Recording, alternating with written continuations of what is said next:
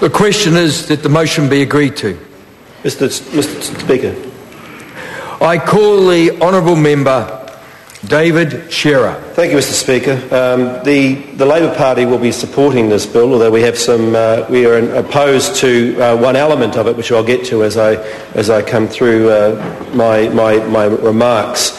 Um, I do think that in, in overall that this is a, a bill and through the Select Committee, the Finance and Expenditure Select Committee, um, it was, it, it um, generated a, a, degree of debate, not hostile debate, but debate in terms of how we can make our student loan uh, mechanism work much more effectively. And as the, as the Minister just said, uh, making this system less paper-driven, uh, streamlined in terms of the agencies in which students uh, go to, as opposed, uh, bringing that from two down to one, um, and making it, uh, certainly making it easier for students to be able to repay their loans, particularly those students that have gone overseas, is all, uh, is all good.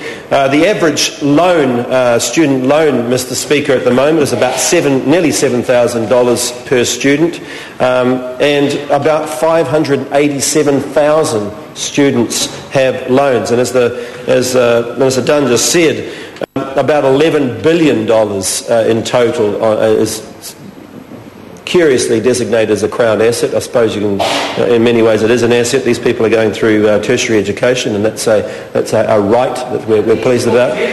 But, but yes, I, I, was, I was looking at the, the word asset in terms of this, and playing the word as asset in, in terms of what we have, in terms of investing in our future. And it's a very important it's very important in terms of what New Zealand um, has been able to do throughout its, throughout its uh, the history of tertiary education, which is basically to provide easy access for students to be able to get to university um, and have that right of a good tertiary education. And it's a very high quality tertiary education. Um, but $2.3 billion of that money is, uh, is, is, money that is, is currently with students overseas. Um, and so the bill, this bill that streamlines our ability to be able to bring, uh, to help those students overseas to repay their loan um, is, is uh, to, be, to be welcomed. Um, and I, I wanted to, to, to say that the, the IRD, I think, estimates that in, by 2014 there will be something like uh, $22 million uh, recovered just by, uh, or the Treasury I think um, re- um, estimates that about nearly $22 million will be able to be recovered through the uh, through the, the changes that have occurred as a result of, of, of this bill. The 20, $22 million, Mr Speaker, is, is, is significant and obviously um, it, it will accumulate over time um, as we get the basis of, a, of a, a, new system, a more streamlined and electronic system in place, and it can be built on and encouraged uh, um, uh, further after that. This is where we come to the, um, to, to the, the issue where, where, where the Labour Party is not in uh, support of, of this particular aspect, and that is the charging of a, a fee to students in order to be able to put this, uh, this uh, in, into place because I think at the moment students uh, in many ways are, are already uh, heavily burdened with a, a, student, student loan. Um, and as we are actually making close to $22 million off the back of the savings that we're going to be, uh, that, that, are going to occur, putting in yet another burden of the administration fee of this, uh, of this bill onto the students, I thought we, we believe is, is over the top. Uh, so we are, while we are, uh, are, supportive of the bill itself, we are not supportive of the proposal in this bill to add an, a, transaction fee, an administrative fee, um, on students to, uh, to enable this to come into play. We are earning, as the state, uh, will take $22 million. It will increase over time. Um, and that, I, I believe, uh, Mr, Mr. Speaker, is, um, is, is, unnecessary. Um, it's, it's a fee um, of only 50 to $60, but nevertheless, over the, um, it's a, a, fee which will hit students who are perhaps in a position where they uh, are already financially stretched. Um, and, and, and, ironically add that to the cost of, of, of the loan of the loan already, um, people who are, are already struggling. But while I'm on the topic of this, Mr. Mr. Mr. Speaker, is the, is, the, is the broader aspect of what is actually happening to student loans. This is a, an, an extraordinarily important subject for the country. Um, the amount of money which we commit um, through student loans, the, the commitment that we, we make as a country to tertiary education. Um, and yet some aspects, uh, some areas of uh, student loan people who are trying to get a student loan have been disadvantaged as a result of the, of the last budget. And I'm referring, Mr Speaker, to those, those students who are over the age of 55 who have effectively been shut out of um, obtaining a student loan. Now, that's, what that says to me, Mr, Mr Speaker, is, is, is a couple of things. First of all, what it's saying to me is that people over 55 um, have really no value in our education system because they're too old. And we know, and we know that 55, Mr Speaker, is, is, um, is, a, is a very age in which many older workers are looking to retrain, upskill and move on to other, on to other things. We know inevitably that people are going to be working longer as, as they continue their working lives um, and they will want to and need to upskill and retrain as a result of that.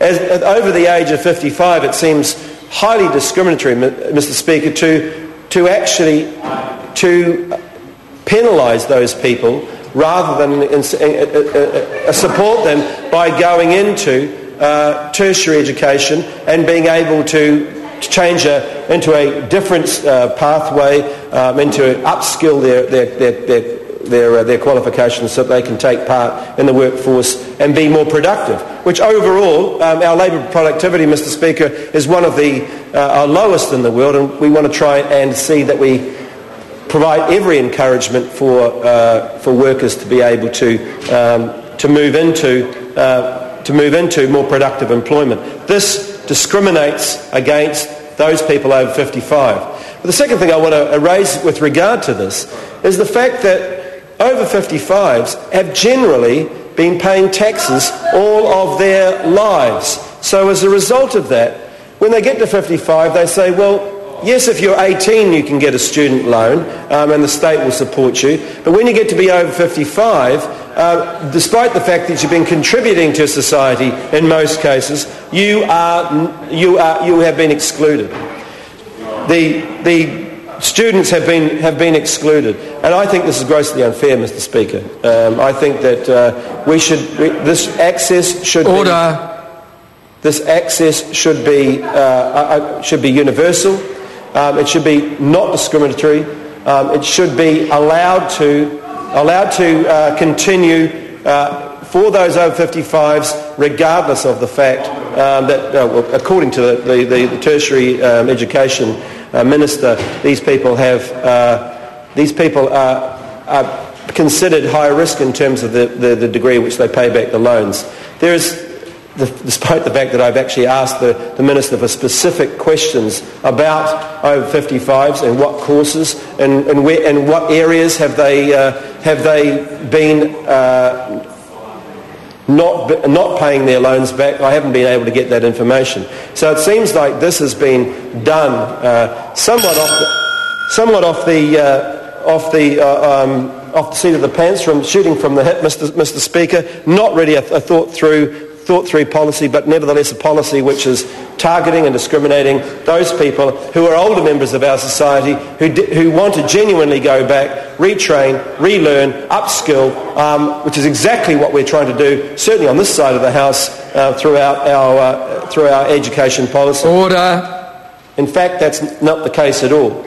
So just coming back to the, uh, to the, to the bill itself, Mr. to the bill itself, Mr. Mr. Speaker, um, as, I, as I said, we, the, the Labour Party will support this piece, of, this piece of legislation. We will support it because it does uh, streamline the ability to collect uh, those loans that are outstanding. It provides a better interface for students who are able to provide uh, uh, a better interface for, stu- for, for, students who have perhaps gone overseas, can communicate through, a, uh, through a, an electronic media um, replaced much of the paper type of uh, um, aspects that have, have, that have been the uh, that have been the hallmark of, of the student loans um, system up to now, um, and recoup, um, according to Treasury figures anyway, $22 million by 2014. So in the next three years, the, uh, the, the amount of money that will, will easily uh,